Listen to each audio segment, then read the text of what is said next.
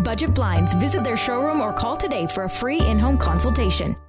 To hockey now, it's no secret the Lloydminster Bobcats coaches aren't happy with their defensive game. While a few players have key injuries to the top D men, that hasn't really helped out the cause at all. Now, the club is looking at different ways to bolster that blue line. So, from chemistry to communication, time is certainly running out for its defense that is trying to get its act together. Nahreman Issa reports.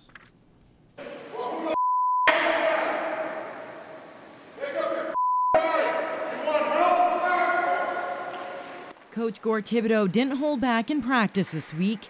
During a drill that focused on communication between the defensemen and forwards, he got his message across loud and clear.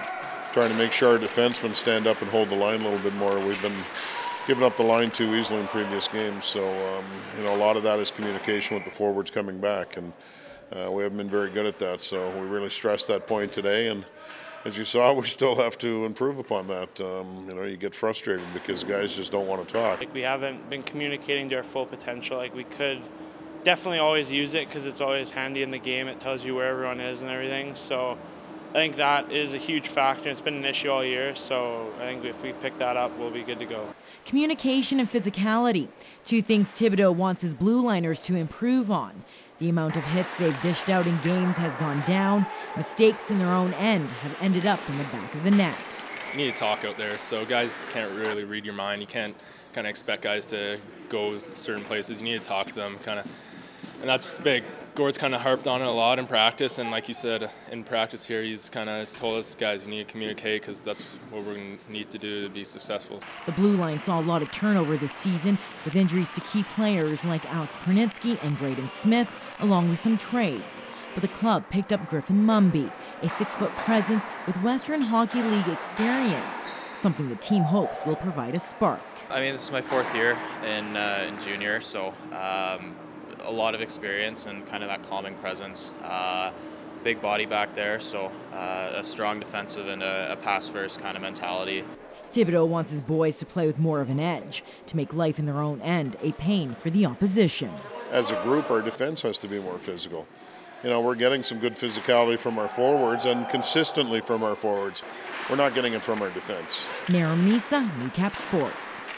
All right, to the midget Triple A's, the Bandit Pipeline Bobcats are back on the ice and in good spirits, preparing for a big weekend after a long trip to southern Alberta. I was happy with our effort, and you know, the main thing is we got four points, and you know, now we can rest a little bit for another big weekend coming up. Uh, we've had a lot of long road trips lately, and uh, just shows how deep our team are. Uh, when we get tired, we can still play and win games.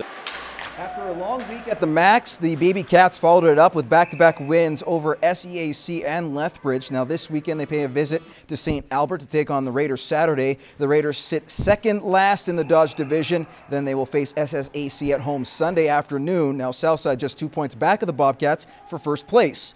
The Cats say that they're not going to overlook the Raiders, but are excited to see what they're made of against Southside.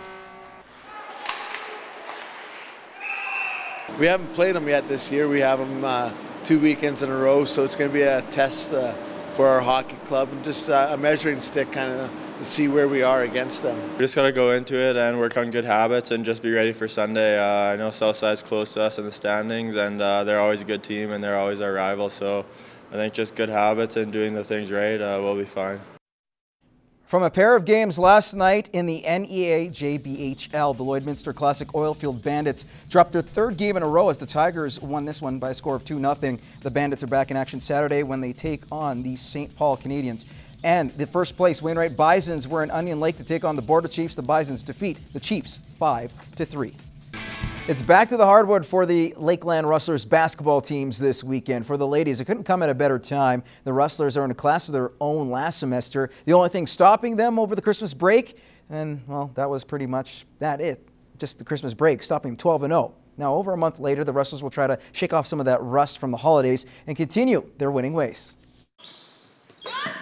For the Rustlers, it's back to business. After finishing the first half of the season with a 12-0 record, their best start in their program's history, and a huge layoff between games, the Rustlers are now back hard at work, trying to shake off any rust. We've just been practicing um, getting the conditioning back, trying to, and I think mentally they are excited, ready to get back. I think they're kind of sick of practicing against each other and beating up each other. I think it's kind of just like the little things that we were really strong with at the end of second semester. We're just needing to work on a little bit more now to kind of get back in the pace that we left things off at. So it's just kind of getting back into the rhythm. A rhythm that the Rustlers are trying to simulate during practice, allowing no drop off in intensity heading into the second half of the season. We come in here, we're pushing each other to be better and be as good as we can be because we we all know the potential this team has. So I think we're not letting anyone on this team pretty much slack off. We're all pushing each other to work our hardest every day we're in the gym. We're all really conscious about um, practicing hard and pushing each other really hard because we know that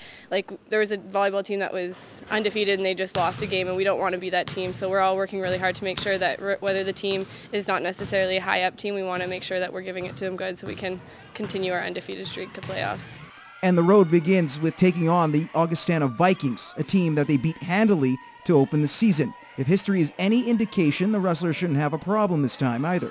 But the Rustlers know, as the leaders of the pack, there's a lot of people that are going to be chasing them for top spot.